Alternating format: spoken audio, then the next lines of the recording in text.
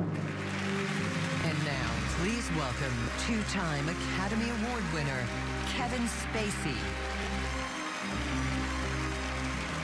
I am incredibly delighted to be here tonight as my friend Al Pacino gets his honor. It's my pleasure to teach all of you in this audience how to do the perfect Al Pacino impression in three easy steps. One, where did it go? I, I call this step, where did it go?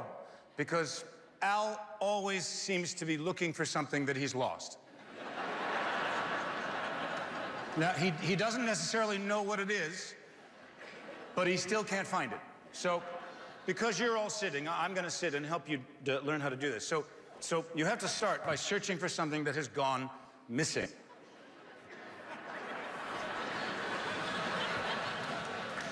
Where is it? My wallet, my, my passport, my toothbrush, my lines, my performance. Whoa, where did that go? Step two is the surprise. Al, for some reason, always looks a little surprised. If you look at his face, it's like, what just happened?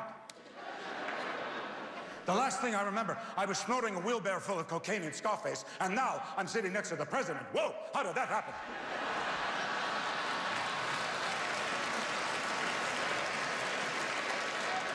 And then finally, step three is the huff. Whoa. Seems to have a lot of air. He's got to get it out. Whoa. Hoo-ha. I blow it out, but it just comes right back in. Look, the reason that all of us love to do an impersonation of Al Pacino is because he has created characters that are unforgettable. And that's because for Al Pacino, it's not just business. It's not just business. It's craft. And I've been fortunate to know him a long time and work with him. I adore you. Congratulations, my friend. Roll the film. Thank you so much.